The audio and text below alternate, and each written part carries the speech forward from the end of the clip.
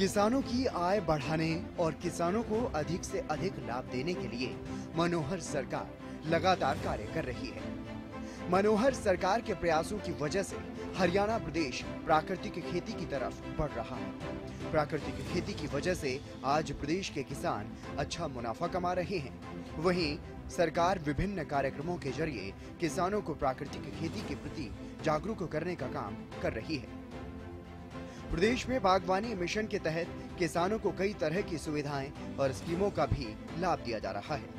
बात अगर गुरुग्राम ज़िले के रहने वाले प्रगतिशील किसान सतीश की की जाए तो सतीश भी बागवानी विभाग की मदद से फलों और सब्जियों की खेती कर अच्छा मुनाफा कमा रहे हैं। खूब अच्छी फ्रूटिंग आ रही है और अस्सी से सौ रुपये किलो मेरा यहीं से बिकता खेती तो ऐसी चीज़ है जिसमें तो आदमी सौ साल भी लगा रहेगा तो कुछ न कुछ नया सीखने को मिलेगा। हाँ पर हम कोशिश ये करें हैं भाई हमें एडवांस रहो क्योंकि अगर जे वो चीज़ दस साल पीछे अपनाई हमने, हो सके है दस साल बाद कोई और नई चीज़ आ जाए तो हम कोशिश करें नेट के माध्यम से यूट्यूब से, या टीवी से, या अपने जैसे सरकारी संस्थान है, जो नई नई टेक्नोलॉजी की जानकारी दे। अपने बागवानी विभाग है, उनके संपर्क में रवा आपको बता दें, गुरुग्राम ज़िले के रहने वाले सतीश एक शहरी किसान हैं और वो एडवांस टेक्नोलॉजी में विश्वास रखते हैं और पिछले कई सालों से सब्जियों और फलों की खेती करते हैं। वो बताते हैं कि बागवानी विभाग की मदद से कैसे उनकी खेती में मुनाफा बढ़ा है। प्रगतिशील किसान सतीश का यह कहना है कि खेती में नई टेक्नोलॉजी का प्रयोग करके तीन से चार गुना तक मुनाफा कमाया जा सकता है। सतीश ने निश्चित तौर पर ये साबित किया है कि बागवानी विभाग की मदद से कैसे खेती की नई तकनीकों को अपनाया जा सकता है और पारंपरिक खेती के मुकाबले प्राकृतिक खेती में तीन से चार गुना ज़्यादा मुनाफा कमाया जा सकता है। बता दें कि सतीश अब प्राकृतिक खेती करके लोगों के लिए मिसाल पेश कर रहे हैं। देश में खेती किसानी का रकबा बढ़ाने और ज़्यादा से ज़्यादा लोगों को कृषि से जोड़ने के लिए सरकार काफ़ी प्रयास करती है इसी तरह से कृषि प्रमुख राज्यों में गिने जाने वाले हरियाणा में सरकार भी किसानों को लगातार खेती के आधुनिक तरीकों से जोड़कर उन्हें लाभ देने का प्रयास कर रही है इसी की बदौलत आज प्रदेश में काफ़ी बड़ी संख्या में किसान इस खेती की ओर अग्रसर हैं। वहीं फरीदाबाद के रहने वाले प्रगतिशील किसान सूरज भी अब पारंपरिक खेती को छोड़कर गोभी, नींबू और आलू की खेती कर रहे हैं किसान सूरज बताते हैं कि बागवानी विभाग की तरफ़ से समय समय पर मिली जानकारी की वजह से उन्हें मदद मिली है और सब्ज़ी की खेती से उनके घर की आर्थिक समस्याएँ भी सुलझने लगी हैं। हॉर्टिकल्चर हमें समय समय पर ना हमारी खेतों में भी आके हमें जानकारी देते हैं जगह जगह मेले लगाते हैं, जो भी सरकार से सहायता आती है, उसको हमें देने का काम करते बीच में हमारी कड़ी है। सर, हमारी तो इनकम इस साल मायने में दुगनी हो चुकी है, सही तो। पारंपरिक खेती छोड़ के ना विविधीकरण अपनाना चाहिए, अपने कुछ सब्जियों की तरफ़ ज़रूर आ जाएँ, भाई, आलू लगाएँ, गोभी लगाएँ, कुछ भी फ्लोरिकल्चर अपनाएँ, कोई भी अपनाए, लेकिन कुछ ना कुछ उसके साथ खेती में दूसरी चीज़ ज़रूर करें, सब्ज़ियाँ वगैरह करें। मनोहर सरकार के प्रयासों से ही आज किसान पारंपरिक खेती को छोड़कर प्राकृतिक खेती की तरफ़ बढ़ रहे हैं। किसान सूरज ने ये बताया कि जब हम धान की खेती करते थे तो साल में एक बार ही पैसा मिल पाता था। लेकिन अब प्राकृतिक खेती की वजह से उनके पास हर समय पैसा रहता है, जिसकी वजह से किसान आत्मनिर्भर भी बन रहे हैं।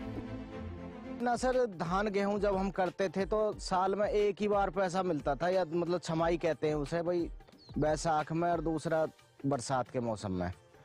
अब हमें हर समय पैसे में रहते हैं, आलू है, सर्दियों में पैसा आ गया, सब्ज़ी चल रही है हमारी हर रोज की इनकम है। तो हमें मुँह नहीं देखना पड़ता आरती वगैरह का के भाई हमें पैसा दे। हमारा रोज का अपना माल जा रहा, पैसा आ रहा। जो ये आप देख रहे हैं ना जी खेती, ये गोल के ऊपर लगी हुई है हमारी सब्ज़ियाँ जो तो आधा ही पानी लगेगा खेत में, पूरा नहीं लगेगा। मैं किसान भाइयों को ये सलाह देना चाहूँगा कि अपने माल की ग्रेडिंग करके, उसको तुड़ाई करके, अच्छे से छटाई करके, पैक करके, जब अच्छी तरह से बेचे माल को, ऐसे ही ना लुटाएँ कि भाई भरार तोड़ार पहुँचा दिया। उसमें नुकसान होगा किसान भाई को तो वो छाट के ग्रेडिंग करके माल पहुँचाए बाज़ार में, जिससे उसे इनकम दुगनी से क्या चौगनी हो जाएगी। भाव में जब हम ग्रेडिंग बना के ले जाते हैं, दो नंबर माल अलग निकालते हैं, एक नंबर का माल अलग निकालते हैं, और जो थोड़ा हल्का माल होता है, उसे अलग कह के बेचते हैं। जीवन से बिल्कुल खुश हैं, पर खेती बाड़ी में हमारा गुजारा सही हो रहा, बढ़िया। आजकल मेरी बेटी बीकॉम फाइनल में है, बेटा प्लस टू कर रहा है, वो बढ़िया मॉडर्न स्कूलों में पढ़ रहे हैं, अच्छी यूनिवर्सिटीज में जा रहे हैं, इसी खेती की बदौलत जा रहे हैं वो।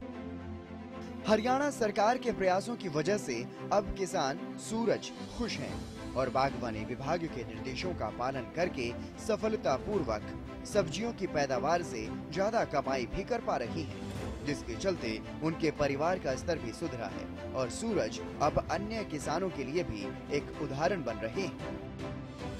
हरियाणा में प्रगतिशील किसानों की फहरिस्त काफ़ी लंबी है। बागवानी क्षेत्र से जुड़कर आय बढ़ाने वाले किसानों में जींद के किसान भी शामिल हैं। अच्छे लाभ को देखते हुए प्रदेश के युवा भी खेती की तरफ़ आकर्षित हो रहे हैं, जिसका श्रेय प्रदेश की सरकार को जाता है, जो किसानों की भलाई के लिए कदम उठा रही है, जिसकी वजह से किसान अब प्राकृतिक खेती को तवज्जो दे रहे हैं। बागवानी विभाग की तरफ़ से किसानों की खेती में आ रही दिक्कतों का समाधान करने के लिए काफ़ी योजनाओं को अमल में लाया जा रहा है। जींद ज़िले के पालवा गाँव के रहने वाले किसान सुभाष ने प्राकृतिक खेती कर मिसाल पेश की है। ग्रेजुएशन पूरी करने के बाद सुभाष ने अपने पैतृक कार्य को आगे बढ़ाने के बारे में सोचा और साल 2003 में फ़ूड प्रोसेसिंग का एक यूनिट स्थापित किया। बागवानी विभाग का सहारा मिलने के बाद सुभाष निरंतर सफलता की ऊंचाइयाँ छू रहे हैं। सन 2003 में मैंने अपना ये फ़ूड प्रोसेसिंग यूनिट का कार्य शुरू किया। जब मैंने शुरुआत की तो मेरे को काफ़ी दिक्कतों का सामना करना पड़ा। लेकिन इसमें धीरे धीरे मैं बागवानी विभाग से जुड़ा और बागवानी विभाग से जुड़ने के बाद मैंने इस पे अपनी यूनिट को आगे बढ़ाने के लिए लोन लिया, जिसमें बागवानी विभाग ने मेरे को 25 परसेंट तक इसमें सब्सिडी भी दी।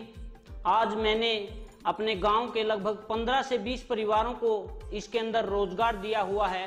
और मैं लगभग 40 से 50 प्रकार के आइटम इसके अंदर बनाता हूँ। मैं अपना जितना भी प्रोडक्ट है, खाद्य विभाग को भी देता हूँ और अन्य दूसरे डिपार्टमेंट हैं, इसके साथ साथ मेरे खुद के अपने स्टोर बनाए हुए हैं मैंने। एक स्टोर मेरा उचाना के अंदर है और तीन स्टोर मेरे नरवाना के अंदर हैं। इसके साथ साथ मैंने अपना रोहतक के अंदर भी स्टोर खोला हुआ है। मैं इसके लिए बागवानी विभाग का बहुत बहुत आभारी हूँ, जिन्होंने मेरे जैसे एक तुच्छ किसान को इतना आगे बढ़ाया। इसके लिए मैं बार बार बागवानी विभाग का धन्यवाद करता हूँ और दूसरे किसानों को भी मैं ये बताना चाहता हूँ कि आप भी अपने प्रोडक्ट को वैल्यू एडिड करके बेचना शुरू करें, ताकि जो आज किसान की हालत है वो ना रहे और वो अपने प्रोडक्ट को अच्छी प्रकार से वैल्यू एडिट करके यदि मार्केट के अंदर लेकर आएगा तो उसमें उसका मुनाफा भी काफ़ी अच्छा मिलेगा। हरियाणा में प्राकृतिक खेती को बढ़ावा देने के लिए सरकार की तरफ़ से कई तरह की सुविधाएँ दी जा रही हैं, जिसके चलते अब किसान पारंपरिक खेती को छोड़ आधुनिक खेती के प्रति जागरूक हो रहे हैं। किसान समझ गए हैं कि आय को दोगुना करने के लिए सिर्फ़ पारंपरिक फ़सलों पर निर्भर नहीं रहा जा सकता। अच्छे मुनाफे के लिए नई तकनीक, नए तौर तरीकों और बागवानी फ़सलों की ओर रुख करना ही होगा। हरियाणा सरकार की तमाम फ़ायदेमंद योजनाएँ और जागरूकता कार्यक्रमों से किसान न सिर्फ़ जागरूक हुए हैं, बल्कि अपना मुनाफा भी बढ़ा रहे हैं। बागवानी फ़सलों में नुकसान की संभावना कम करने के लिए आधुनिक तकनीकें भी आ गई हैं, जिसका किसान भरपूर उपयोग कर रहे हैं। हरियाणा सरकार की तमाम योजनाओं से किसानों की आय बढ़ रही है और किसानों का जीवन स्तर अब काफ़ी ऊपर उठ चुका है। ऐसे न जाने कितने प्रगतिशील किसान हैं जो सरकारी योजनाओं की मदद से अपने जीवन का स्तर बदलकर यानी आय बढ़ाकर काफ़ी बेहतरीन कर चुके हैं। ये किसान दूसरों के लिए प्रेरणा स्रोत बन रहे हैं।